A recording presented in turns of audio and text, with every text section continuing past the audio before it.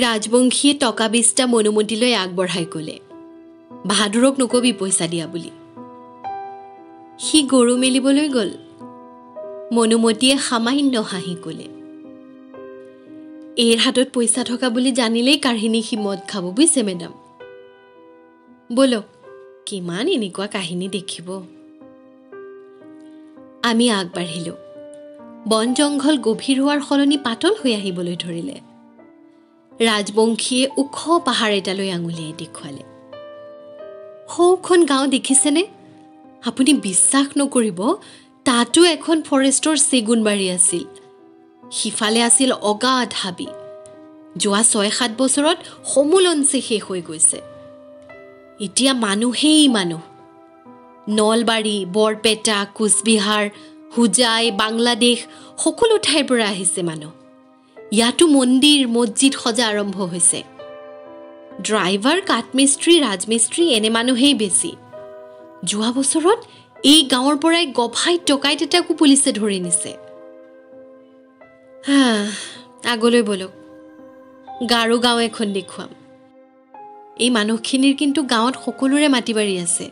ভূমিহীন নহয়। মই নিজে ছাৰ্ভে কৰি গৈছোঁ। যোৰাবাটত দুবছৰমান আগলৈকে পশু মাংস সদায় বিক্ৰী হৈছিল। এতিয়াও পাব গুইৰ মাংস আৰু ছাল খৰালি হাঁহ।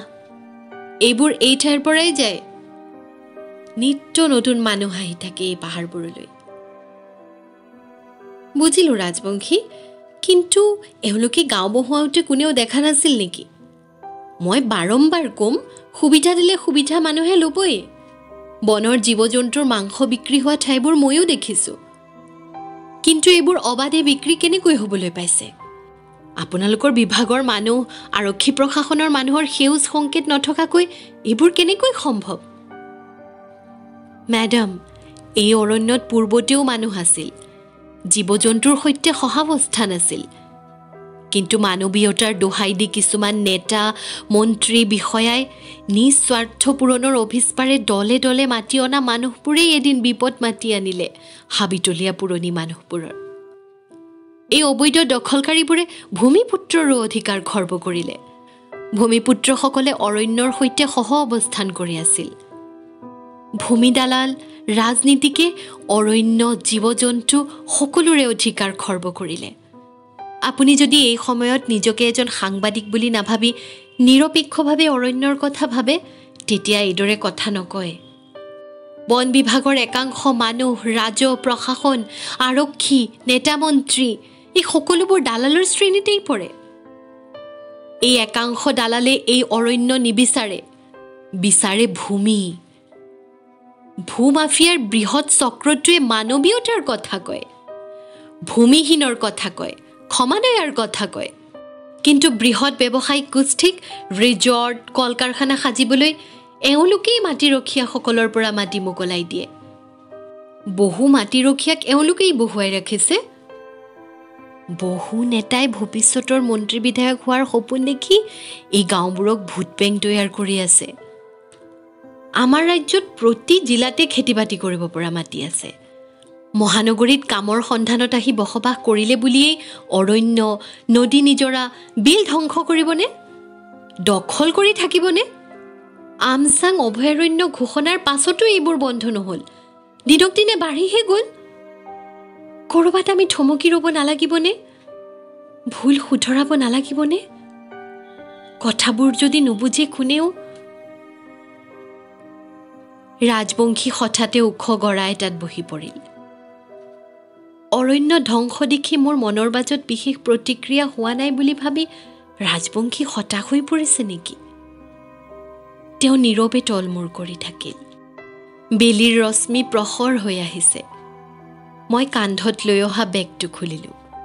ৰাজবংশীৰ কাষত বহি টিফিন বক্স খুলি চেণ্ডউইচ আগবঢ়াই গ'লোঁ খাওক মোৰো বৰ ভোক লাগিছে।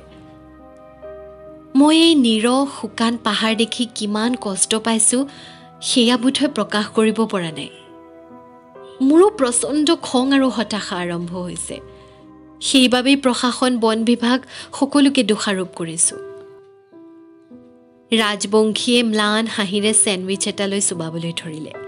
একো মন্তব্য নকৰিলে। দূৰৈৰ সেউজ দিগন্তৰ ফালে চাই থাকিল। আমি ভালেমান দূৰ আহিলোঁ।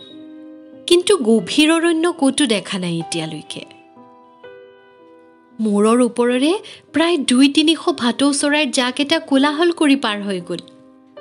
দূৰৈৰ পৰাই সিহঁতৰ মাত শুনা গৈছিল। সিহঁত নেদেখা হোৱাৰ পাছতো মাতবোৰ ভাহি আহিছিল। অহৰহ জিলিৰ মাত এটা আহি আছে। মহানগৰীৰ পৰা নাতি দূৰৈত থকা এই নৈসৰ্গিক নিস্তব্ধতাই মনটো ৰিঙা ৰিঙা কৰি তুলিছে। ল'ৰা ছোৱালীৰ মাত শুনি সন্মুখৰ পাহাৰটোলৈ চালোঁ। গাৰ নীলা স্কাৰ্ট বগা কামিজৰ স্কুল ইউনিফৰ্ম পিন্ধা সাত আঠ বছৰীয়া ল'ৰা ছোৱালী দুটামান নামি আহিছে। অতি কষ্টৰে চাইকেল নমাইছে ডেকা মানুহ এজনে। দেউতাক নিশ্চয়। আচৰিত হলোঁ সিহঁতক দেখি। পিছে পিছে চিলোৱাৰ কুৰ্তা পিন্ধা যুৱতী এগৰাকী। ওচৰ চাপিলত দেখিলোঁ বিবাহিতা শিৰত সিন্দুৰ। এনেই সুধিলোঁ এইখিনিত স্কুল ক'ত আছে? এইখিনিত নাই তলত আছে। দেউতাকে ক'লে হঠাতে মোৰ ভীষণ কৌতূহল হ'ল থিয় হৈ সুধিলোঁ।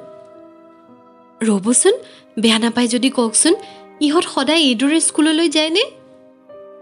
স্বামী স্ত্ৰীহালে পৰস্পৰলৈ চাই হাঁহি দিলে। এই চাইকেলখন তলত থৈ মোৰ বাইকখন লৈ যামগৈ। গ্ৰীণলেণ্ড নাৰ্ছিং হোম যে মই তাৰ ড্ৰাইভাৰ এম্বুলেঞ্চ চলাওঁ।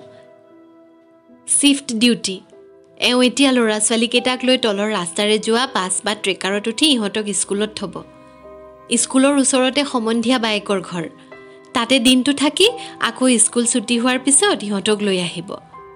মই আহি পাওঁতে ৰাতি হ'ব। নিশা ডিউটি থাকিলে ৰাতিপুৱাহে আহোঁ। অতি সহজভাৱে মানুহজনে কথাবোৰ ক'লে। এক অবিশ্বাস্য সংগ্ৰাম বিস্ময়কৰ সংসাৰ। অবাক হৈ আকৌ সুধিয়ে পেলালোঁ। সদায় এই কষ্ট কেনেকৈ কৰিছে?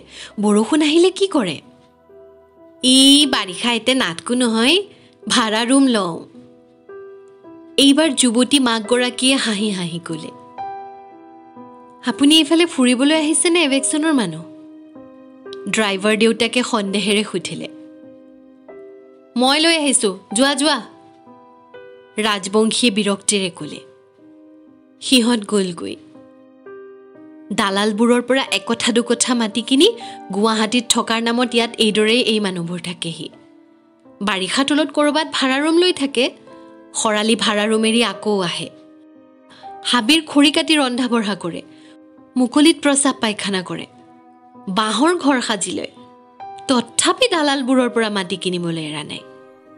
এনেকৈ এঘৰ দুঘৰকৈ বিছ ত্ৰিছ ঘৰ হ'লেই এখন নগৰৰ নাম দি লয় লাহে লাহে ইটা বালি কঢ়িয়াই পকী ঘৰ সাজে। ইজনক দেখি সিজন আহে। দালালবোৰে কোৱা কথাকেই সিহঁতে বিশ্বাস কৰে। মই বহুতকে আহি কৈছিলোঁ এই মাটি নলবি এয়া অভয়াৰণ্যৰ মাটি। কেতিয়াবা উচ্ছেদৰ সন্মুখীন হ'ব লাগিব। দালালবোৰে পইচা লৈ পলাব তহঁতৰ কষ্টৰ পইচা অথলে যাব। কিন্তু মোৰ কথা বিশ্বাস নকৰে কোনেও। ভাবে এইদৰেই চলি থাকিব। মোৰহে কিবা স্বাৰ্থ আছে সেইবাবে বাধা দিছোঁ। কিন্তু মই আশাবাদী এদিন সুদিন ঘূৰি আহিব আমচিঙলৈ ৰাজবংশীয়ে চাৰিওফালে আশা ভৰা দৃষ্টিৰে এবাৰ চালে।